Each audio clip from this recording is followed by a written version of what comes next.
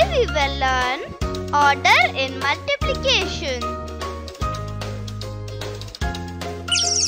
These are three groups of five oranges each. These are five groups of three oranges each. Or we can say that 3 into 5 is equal to 5 into 3. Changing the order doesn't change the product.